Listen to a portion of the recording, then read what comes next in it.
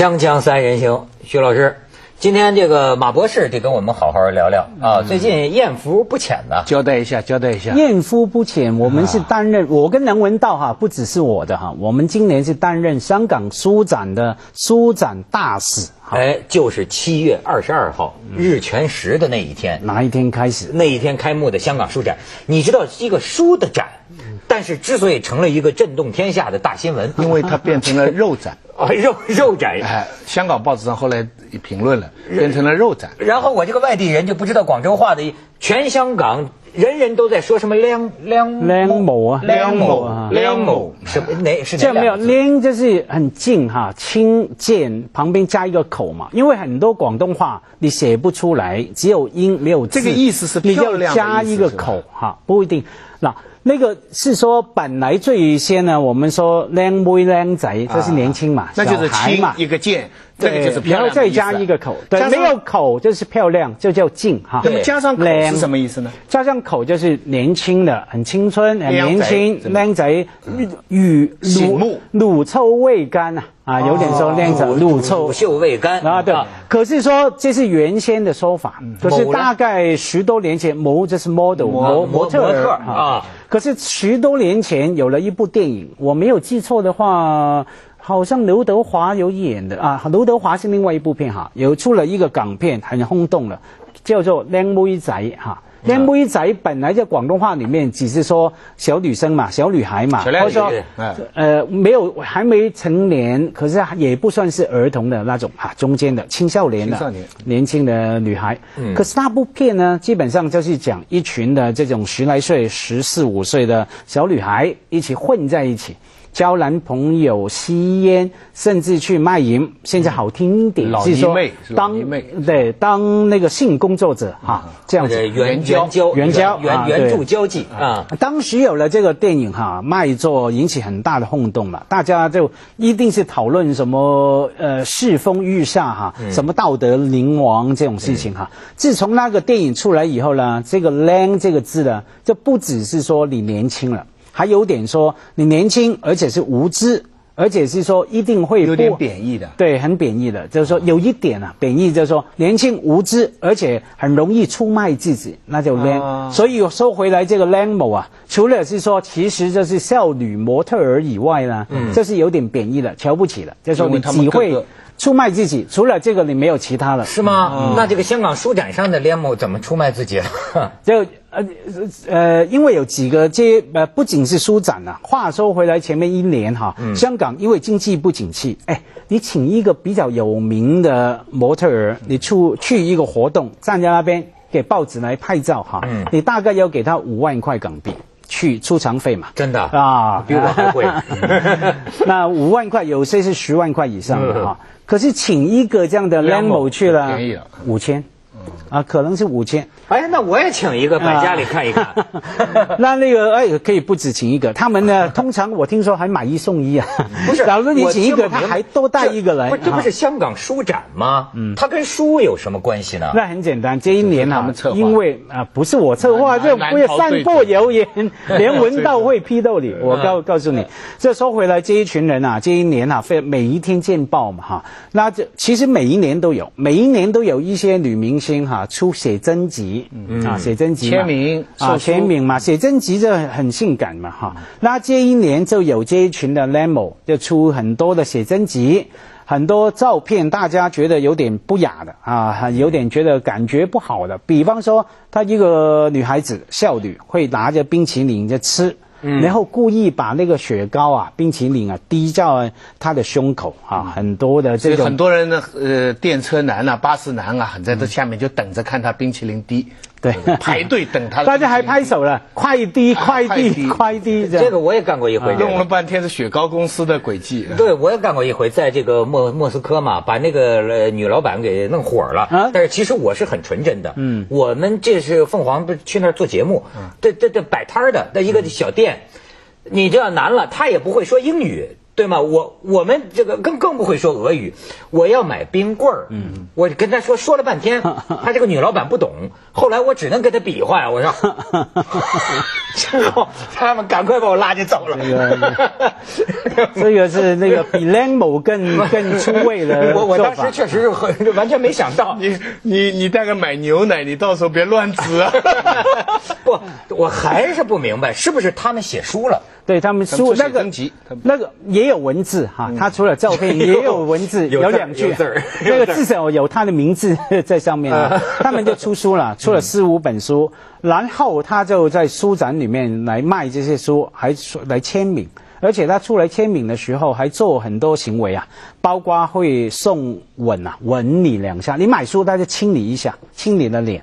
还有呢，在书展门口呢，呃，摆放着牛奶。送牛奶哈，当然送牛奶的时候做一些很有点淫秽的动作哈，有点不雅观的动作。是啊，对。你们怎么把香港书展这么个文化界的事儿搞成这么香港书馆一这么这么让人啊？错了错了，这种住了香港十多年书展一子东啊要谴责，这像是三级书展。我我这个当你们的一个什么节目叫那天叫我评书展，嗯，我当时就说我还是我还是不评了吧，因为我评了我到时候就批评，到时候被人家指责。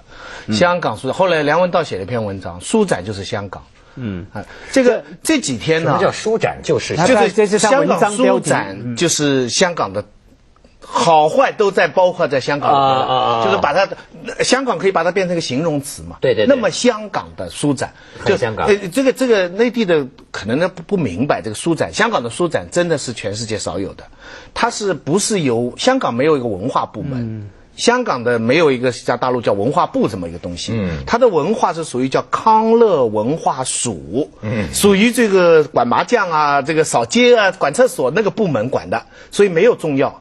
而书展是什么呢？是贸易发展局贸易发展局办的。嗯，换句话说，他是做生意的。贸发所以贸发局的办的书展，它的一个宗旨就是说要吸引人来啊。什么方法能吸引到人来？他们之前都我们不能这样说，子东完全是扭曲香港，这完全错误。你做了他们参与在里面就不能这样。你看这种阴暗面，阴暗面哈，在在替人家无限上纲。第一个，子东啊，充满资讯的错误哈。嗯。这个那个呃，出版联某的写真集啊，完全跟贸发组的呃举的主办单位无关，对，他是出版社去弄，对，嗯，那这种书啊，我们要知道，香港有有香港有书版的评级制度哈，它是一级的第一类书，它跟徐子东写那种有没人对一样，有人看没人看的小说是一样的，对对对，是合法的。换言之说，它合法出版品。他也来卖书，你是没有理由不容许的。我告诉你，子东，假如你今天因为某些理由，你说低俗不容许，明天可以有人用其他理由不准某些宗教的书卖，不准某些政治观点的社会观点的书卖。所以这个确实前一阵这是很危险的。日日日日日日全食那天，香港确实为这个事儿发生争论。就是说，怎么了？我就是这个这个梁某，他们好像穿的很少，就到书展上去卖清凉。你允许不允许啊？我也是书的作者呀。对，那你作家能宣传，我怎么不能去呢？所以咱说了半天，我最感兴趣的还是到底长什么样。我们给大家看看 照片，这些梁某，他们在书展就穿成这样给大家。没有没有，他们当然就跟一般少女的稍微性感嘛。你看现在。全世界的少女都穿的性感的嘛？啊，他们每个人也都是书的作者，是吗？有其中拍这样的照片，拍一些性感照片，出些文字，对吧？然后很多人就崇拜他们。这个啊，这个这个，我我跟你讲，家辉博士，我们内内地现在有更开放的。你瞧这个下边这个照片，重庆的某一个旅游景区，嗯，你知道吗？裸体模特供人拍照的，嗯，你要是爱好人体摄影，你就到这儿来，但这专门提供有有裸体模特。你在这儿拍照，那你说这个比你那 Lemo。Lembo 啊，这所以嘛，所以 Lembo 的书是第一类书的，等同徐子东的书的哈，是第一类合法的书。哪里等同啊？他销路比我好多了，好卖，好卖，好多了，一天卖出一万本。那那是因为你写的不好嘛，不是因为他拖嘛，对那是啊，那是读者失货嘛哈。对对。那这我先说，他不是大家都知道，他喝牛奶好吃嘛，他绝对不是贸发举的去弄的哈，可是他完全是合法来弄，而且另外徐子东的一个很大的偏差错误在于说，我们把数据摊出来好了。你去看 Nemo 买书的围观的人啊，大概就几十个吧，哈。刚徐子东没说的，就是说每一年，包括子东兄的很多朋友，莫言、王安忆、苏童、余华等等等等，包括今年的哈张贤亮、台湾的朱天心、杨照，我都去了。OK。每一场小的人数是一百多个观众，多的五百、六百、七百，难道这些就不是人吗？是？难道这些都不算在舒展的人吗？是。为什么你徐子东没看到吗？那正因为你眼中只有 Lemon，没有其他人，那只能这样解释嘛？也因为你不了解香港，讲到他差点就急了。我没有急，我是我是因为为了香港而而那个还一个公道。没错没错没错，喝茶喝茶喝茶。对对对，锵锵三人行，广告之后见。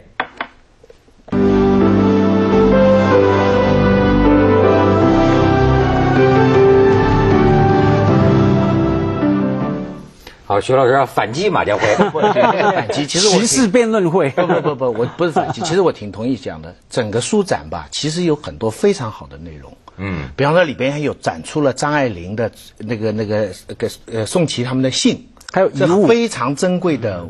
呃，文化的遗物。可是你刚才还说什么？有人来说张爱玲有没有来签名啊？对，那那是有有观众，但是里边还有很多很有质量的文化的讲座。我的问题就在这个地方，就是整个书展年年都有很多很好质量的，但是你要看香港的报纸的报道，整个社会的舆论。他们就只盯着这个梁梁某，确实是，这个就是问题的所在。就你你不能说香港没有高级高学术文化什么全都有。那是媒体的问题还是书展的问题呢？那就是媒体的问题。这两个问题，媒体的社会心理的。第一个，从书展本身来讲，很多人通宵排队，是一个星期之前就排队。大部分排队来的是小孩他们是放暑假了，家长陪来。你看他们采访，他们来是买漫画的，买签名书的，大部分的是这个。这是参加书展，当然书展有很多很好的人买到各种各样很好的书，但是你看大部分的人赶赶集一样买是便宜书、教科书，这是书展部分。传媒不能单惯传媒啊，传媒不是说编报纸的人他们不看陈平原、郑培凯、马家辉，他们只看梁某，而是他们想象的读者感兴趣的是梁某。嗯，所以整版整版的报纸天天关于书展报道，就是他们的冰淇淋啊，他们的衣服的尺寸呐，那这个才是问题所在。这不这不是问题要是书展只有这些东西。子东啊，那问题好解决。这些现象，这个不是问题。当我们说问题的有那么多东西，但是人家只看这个东西，这不是一个单单香港的问题。为为什么也一样？为什么媒体只看这个问题呢？当然是因为他们全世界都一样了，全世界一样。我们不要忘记，在美国最好卖的报纸不是《纽约时报》，是《USA Today》。美国《金日报》OK，在英国啊，小报绝对《太阳报》一定的哈 OK，US Today 跟梁模还是有区别。没有里面的事情啊，这个当然是一个结构性的问题哈。就是说，包括媒体哈，我经常觉得说，媒体他想象读者对这个感兴趣，他多报那是必然的，从生意角度哈。所以往往与其说媒体报的太多，不如说在香港懂货的人。谈的太小，那为什么？比方说有懂货，为什么这话就大了哈？比方说有些人在香港，可能香港是一个外来人口很多的社会哈，不同阶级的，有些工人阶级新移民进来，有些是学者的，像子东兄什么租了十年、二十年、三十年哈。因为种种的理由，哈，它跟香港基本上是两个不相干的实体。这句话是我以前看唐俊毅的一篇文章里面看很有感触的哈。唐俊毅大哲学家，在香港住了几十年，他写了一句话：我跟香港，我不理他，他不理我，互不相干。从好的一方面说，很好啊，香港很有包容啊，嗯，只要你来住，我不管你，你可以完全半句话。广东话不懂的说，嗯，没有半个香港朋友没有关系哈。就记得我有一次听子东兄说，两个钟头，呃，两个不是钟头，两个礼拜前哈，我们有一次的吃饭哈，有人谈到香港书展哈，子东兄又也讲过一句话说，哎，我跟完全没有参与。完全无关跟香港书展哈，这就是问题。今年就是问题了。以前你参与就是请那朋友吃饭嘛哈，那这个就是说很多的，就是因没有，因为我有参与媒体工作，我非常这些很个人常有深刻的经验哈。比方说，在香港很多学界的人懂不懂广东话，另外一回事了。嗯，大有学问的。我代表香港的一些报纸、报刊，跟他们邀稿，谈谈诺贝尔奖吧，谈谈什么？他不写了，完全我不写。啊，是香港没兴趣。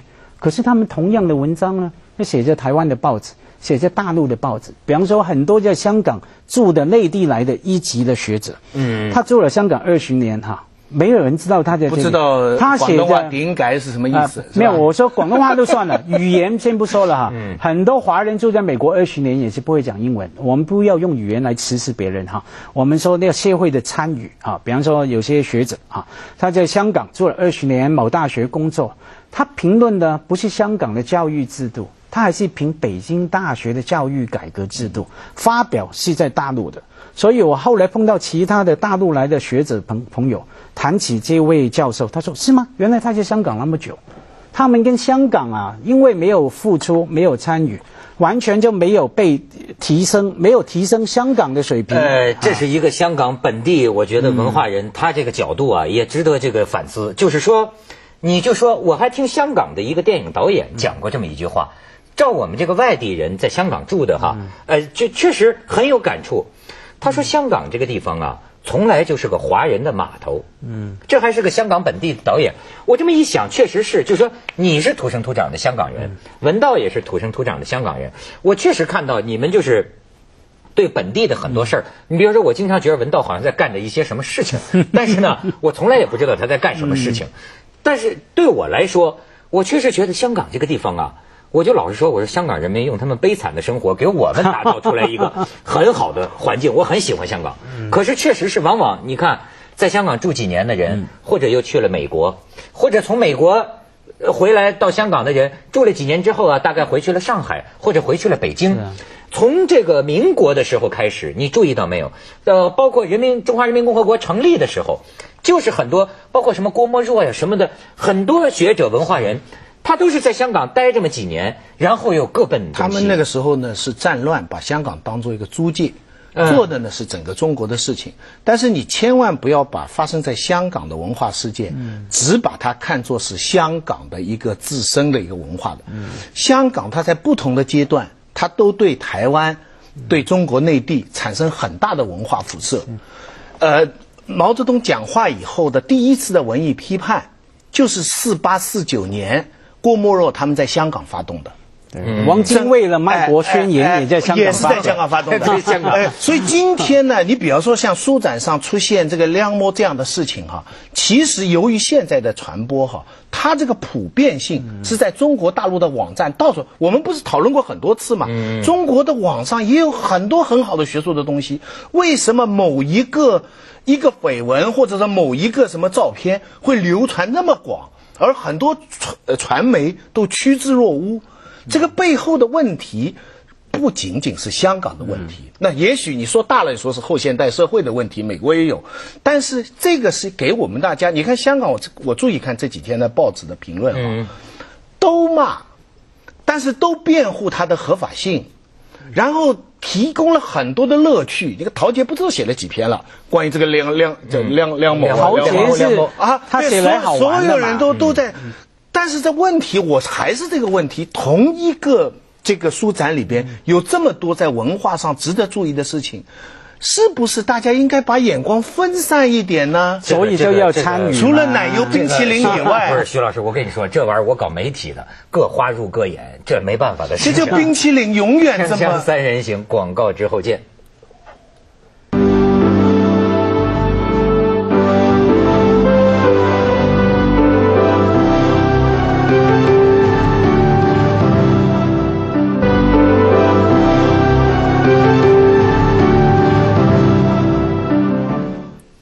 这连我们也不能免俗嘛！你不是说这个梁某吗？我跟你讲，连当年就说是美国兵、美军招募士兵，他们那个时候要打越战，还是打什么抗美援朝？当然他们不叫抗美援朝，反正打这个的的的招招兵的时候，韩战，他们叫韩战，韩战或者越战吧，我不知道。招兵的时候怎么办？靠什么吸引年轻人当兵？我给你看看，他都是这个某啊，什么某啊？咱咱咱咱们导演看看，当时美国就是这是他的招兵广告，越战的时候，招兵模特的广告，他一样要通过这个美国大兵，你瞧。那个科普拉的那个《现代启示录》启示录里边有很长一段嘛，那美军的慰问团嘛，那些女的，对不对？这对美军的士气的鼓舞。他而且他不止用这个吸引那个人家来参军啊，还在你参军之后，他还不断发那个美女的海报给你，给你贴在你的。呃，当兵啊，去出去那睡床的上面哈，没错，刺激你的荷尔蒙的发作，你才能战争打得凶猛哈。可是说回来，这个还是跟 Nemo 的书不一样啊，那不是冒发局。第一个 还是要讲，因为因为 这个假如啊，这个假如那个讯息有错哈，我是无所谓，我怕梁文道更不高兴，是说呃，第一个是说我们的香港那个书展的大使啊。完全跟策划无关哈，我们的我跟梁文道北京去宣传香港，是让大陆的人知道。他们宣传的时候不知道有梁梁某这个完全不知道嘛。我们第一个是说，完全只是说让内地的人知道香港原来也有书展，原来哈书展已经二十年了，可以这样做，只是这样哈，跟香港那个什么策不策划无关。虽然我看那个，我个至少我个人也对梁某这知道了，书展好的地方都是你参与的。我没有，应该也不对。不不不，不是他自他自己办这个事情，谁也不愿意说，我搞的这个书展传到外面，好像是一个弄了一些什么少女模特。他不他不他不喜欢让人有留下这样的印象。然后曾荫权呢，据说去看了一下呢，然后说看书要比看电视文化，大概类似了啊。